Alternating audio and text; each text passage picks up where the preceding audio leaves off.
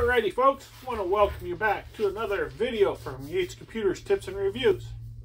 This one I've covered a little bit of this category, but I wanted to go more into detail. This is about the M.2.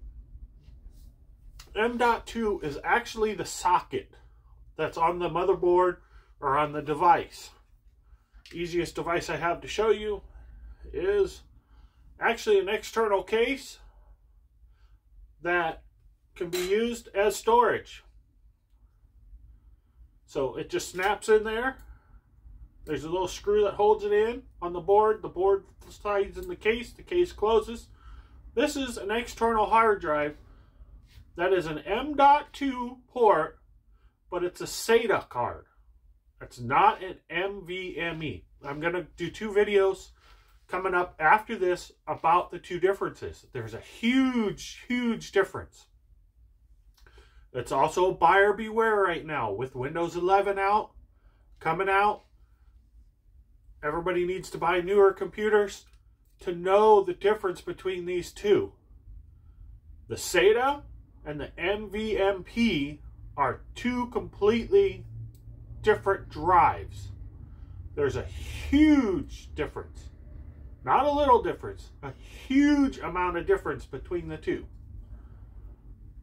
This is the same as the standard SATA drive that you put in your computer, just in this format.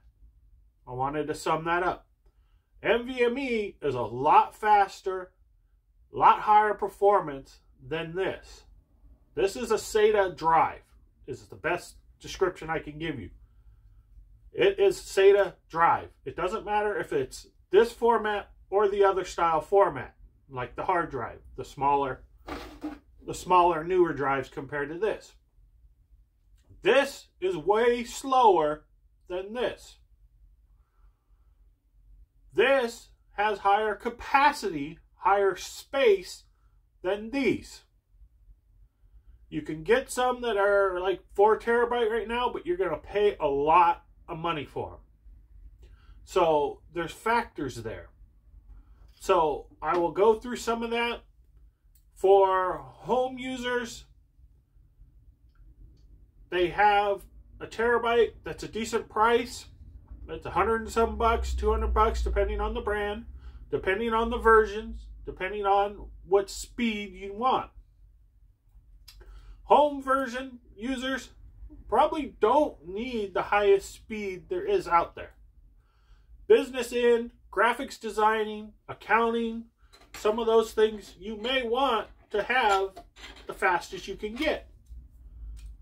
As time of this video, the standard is 3, but there is version 4 out. It is a lot faster than the 3, but it's a lot more expensive. One of the things I wanted to bring up about something like this is if you upgrade like I did, this came in on my computer. It was a SATA. I looked at the manufacturer of my laptop, my computer. I have a video on that talking about how I upgraded it. And it said it supports the NVMe also on that port. So I wanted to see, is there really a difference between a SATA and an NVMe, EVME drive that I would notice? Because I just log in, I go on Facebook, I do other things, I play a few Facebook games and stuff. Surprisingly, yes, I did notice it was really a lot faster. Response time was quicker, a lot more things were smoother. As fast as these are, I was really surprised on that factor. So I wanted to state that because with Windows 11 coming out, with people migrating over to Windows 11 because it is out now, but one of the factors they have is I guess they have driver issues or some compatibility issues with these drives where they're running slower. Well, the funny thing is, is they're running slower. If you bought one with an NVMe and it slows down to half the speed, you're probably not really going to notice an effect unless you're on a high-end gaming machine or some other sort of machine like that. Home users probably won't notice. Once they get the drivers and everything resolved and or whatever their issue is. But I don't recommend you going out and buying that right now because of that current issue. It may be a motherboard flaw where they have to actually change a chip or something on a motherboard to resolve that issue. So it might not only be just drivers.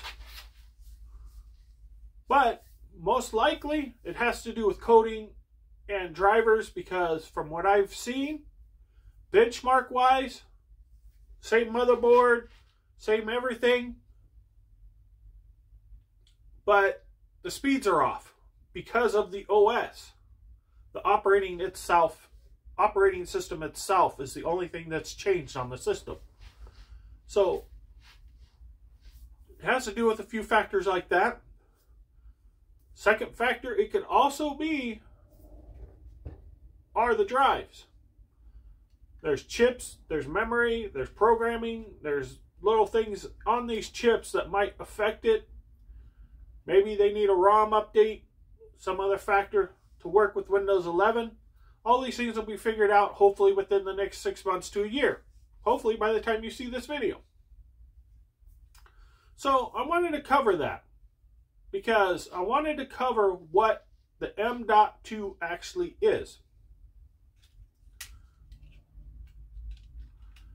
It is not the stick. It is this port here. I'm pretty sure I've shown that in other videos. But I wanted to cover that factor. That factor is really important because just because you have an M.2, there's a lot of variables that go into that. I believe there's four to five different sizes of sticks. This is the full. There's halves, there's quarters, there's all kinds of weird different sizes. If, I don't want to take it off, but if you get a computer and you know what it has in it, you want to make sure you know. Because I can actually show you in the back, in here, this actually accepts all the different sizes. You can see where the screw is on the end. That's the full. You see there's three other holes there. So there's four different sizes that this will accept. So that's one of the really interesting things about these. And one of the things that really I thought was really kind of scary to think about. If you know what a wireless card is, actually I might have one of those around. They're just little tiny cards that you put into a computer. They make now, these cards, that is technically your hard drive, this big beast, and that size. I don't know the actual memory sizes on them. They might be really small memory. I don't know how much they can jam on there. But that's also a variable you want to look at. Because if you bought something like a tablet or something of that sort where you think, I can just run out and buy one of these and put it in there. Be careful. There's different sizes also. It might only accept the little one because of what kind of device it is. So that's one of the variables I wanted to point out when you're dealing with the M.2. That's not even SATA, that's not the NVMe, that has nothing to do with that. Those, that's different. That's a different kind of speeds and processing and all of that type of stuff. So I wanted to cover that in this about that port. Because I think this is going to be a big factor here from now on. This is where most of the technology is going. Most of the drives are going this way. Companies that want to save money are still using the smaller little SATA drives because they're cheaper. They're still quick. They're still pretty quick. Other factor I wanted to bring up with this is now they mount to your motherboard. Most of them will have a port. This is an older motherboard, so it's kind of a bad example for that, but it'll show you the other factor. These are for your, your drives. Your SATA cables out to your drives. One of the other factors I kind of brought up that I didn't really mention in my power supply video about making sure you have accurate, good power is now you have some of these boards that support at least two of those. I've seen boards that have three to four of those on there. Now there's cards you can put in the slots. These are old slots. They're not the PCI slots, Express. But you can actually run like eight or nine of these on that board and how it draws power. Because as you see from here, there's no power cord. There's just a USB cable. So the power comes through this USB. So this is one of those factors that I brought up before on my power supply about all these things that you can actually plug into computers nowadays that draw so much power. You want to make sure your computer can support that. You want to make sure you have a big enough power supply.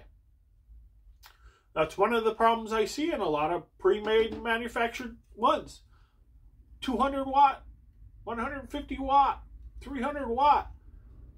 Like, whoo, you know, how much can I actually run off of that other than the computer? That computer was actually designed by engineers and stuff for that computer, that chassis, those parts. So that's one of the factors. Most gamers and most people like that out there are going to have their own makes, models, everything they like. But one of the factors I wanted to bring up is you have, like this board has power here that usually goes for the CPU. This goes to the motherboard. Modular power supplies, even standard power supplies. You want to make sure you know what that voltage is. Because now, when you put these all on that board, that's taking voltage from the board. So that's one of the factors I want to bring up because when you attach the IED, it's actually attached to your power supply through separate cables. So that's one of the things I wanted to mention about those. Most computers where it comes with it in there and it's already set that way, you should be fine. I don't know the exact voltages of every card compared to the SSDs. You'd have to go look at some benchmarks. You'd have to go look at a lot of things that are out there because it's hard for me to compare that to you and give you those kind of numbers because in a month, two months, three months, all that's outdated. There's stuff coming out every day. Different makes, different brands, Every year they update the models, everything. Everything changes. But I do want to say the SSS, the serial ports, sorry, brain freeze, they're at max capacity of data. We have met what they can basically handle, unless there's some new version out there that they can come up with. But as a SATA drive through a SATA cable, that is about the max performance you're going to get. Unless something crazy comes out of the woodwork that someone hasn't thought of. So I wanted to sum that up and state that because most computers coming up in the future will most likely be your main OS on here and a SATA drive secondary. The way the technology is right now, you may end up with two or three of these on your computer and a SATA drive. Or if you really need high, high capacity, you might be running something like this. Something like this would be for your Word documents, your photos, those type of things. If you're a gamer, most gamers will go double cards. So that way they have their OS on one and they have their gaming on the other. Problem is, is games are getting so large. That is one of the mind-boggling things to me nowadays. You're talking about minimum requirement for these things that I would recommend is a 500 gig. 500 gig. That's not gaming. That's personal use, loading operating system, loading software, saving your files, caching, all of that type of stuff. You would want that. Reason is, is because they don't recommend you filling that drive. They only recommend about a 50% capacity because to save the modulars, it moves the data around and it transfers and it shifts things around for performance. So that's another factor I wanted to bring up with these, is you don't fill them all the way. I wouldn't recommend you going past 50%. 75% would probably be pushing it. also, these a lot of times have software you load in the computer that'll actually check the drive when you boot up the computer. And it'll tell you, hey, this drive's starting to wear, this one's starting to show bad chips. This one's starting to show this. They tell you they recommend you changing it. That's a good thing. Because with the old-fashioned drives, you used to have to run special software and all kinds of other things to see if your drive was okay. It would take hours for you to check these drives. If this drive failed on you all of a sudden, oh no, now what? You had to try to put it in as a secondary, figure out was it the OS, was it the drive, you know, if the drive completely died, whatever. One feature I liked and what I see on this is it seems like these kind of give you a warning. They will tell you if there's a performance hit. They'll tell you a lot of things. The com some computers, when you put them on there, will actually give you a screen on your thing telling you about your drive. Hey, boom, hey, it'll let you know.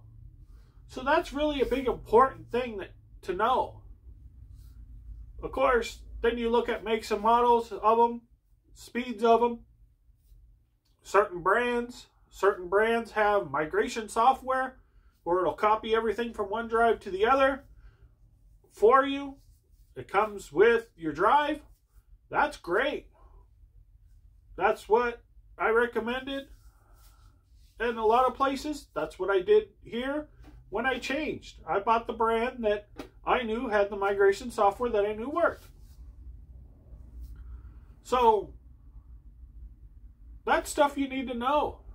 That's all about the M.2. That's not about SATA versus the NVMe. That's completely different.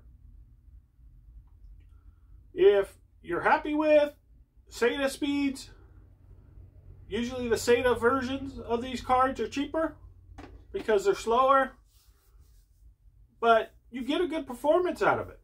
But if you're looking online,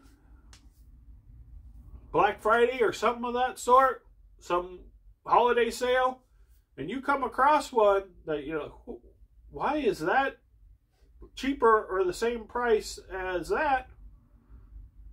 I would recommend get. That's what I did.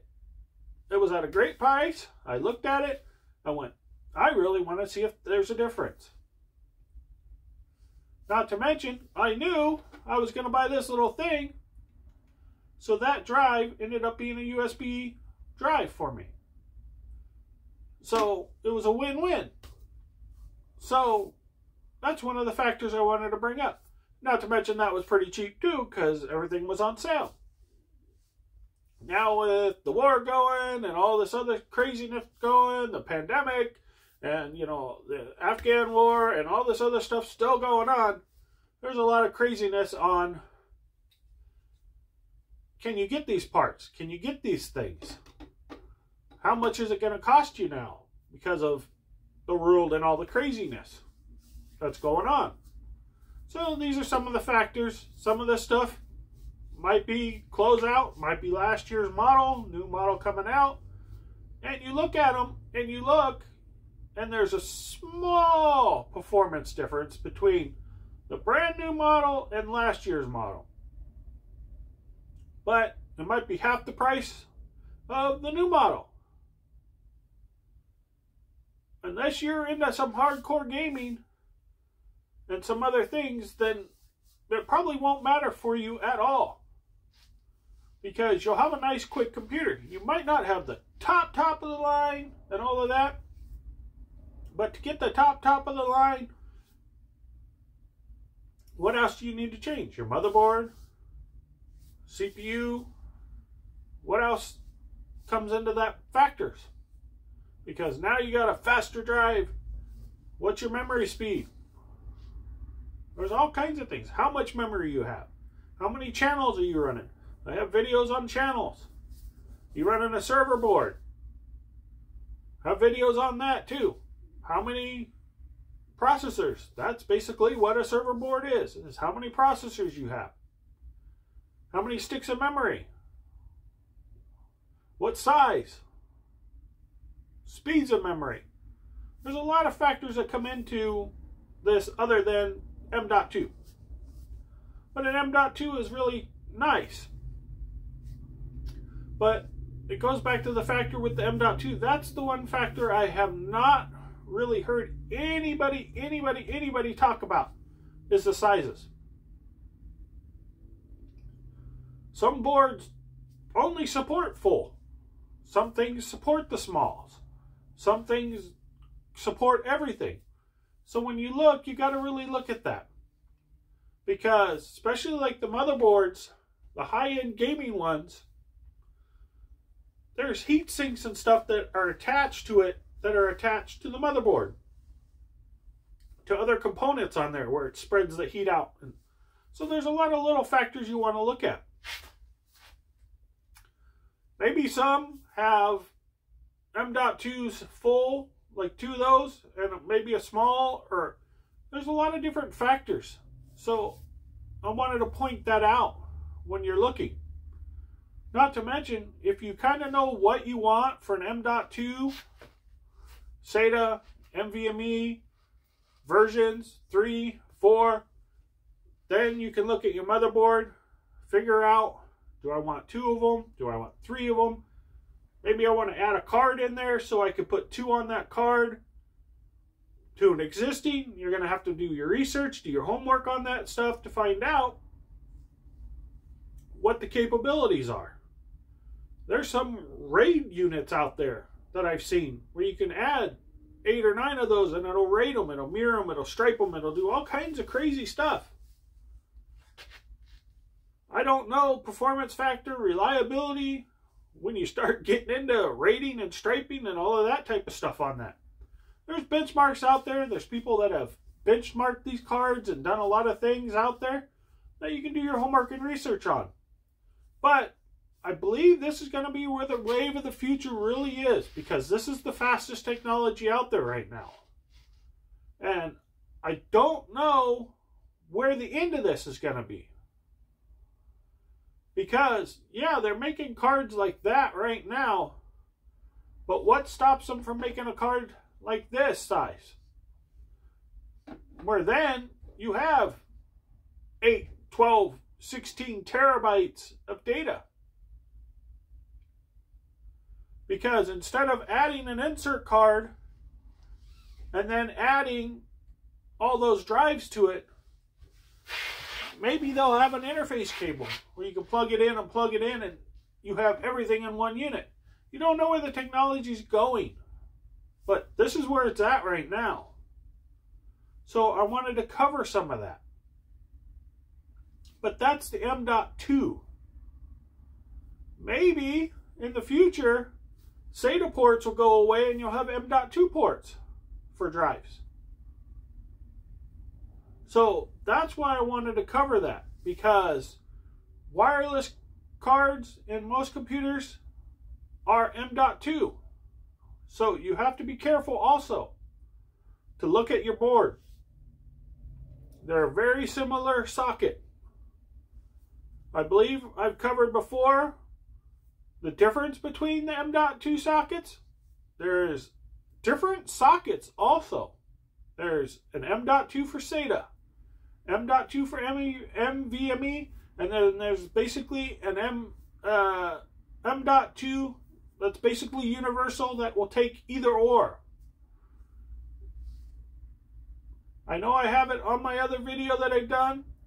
It's where the notch is on the board, there's a little pin, like in memory, where that pin is. It's different between DDR1, DDR2, DDR3, DDR4. Now I believe it's DDR5 coming out. That's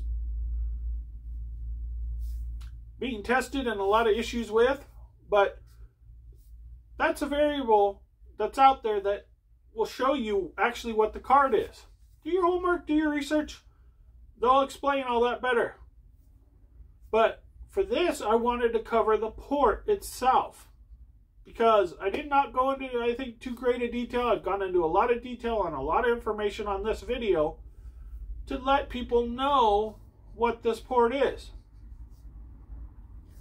I've changed from one computer, old-fashioned mechanical drive. Pretty sure I mentioned this in the other video, but the computer, when you'd run a task, it would come up, okay, starting this task, and you'd see it run. Okay, doing this next part of the task, you'd see the bar go across. Put in a nice gaming NVMe drive. Copied all the data over with the nice software that came with it. Now you run that task, you go blink, blink. If you blink, you missed it. And this is a payroll process where then it starts printing your receipts and all your documentation. So it went from five or six windows of you waiting for it to process to blink, blink, and it's working. It's there. It's going. So that's the huge difference between going from an old mechanical drive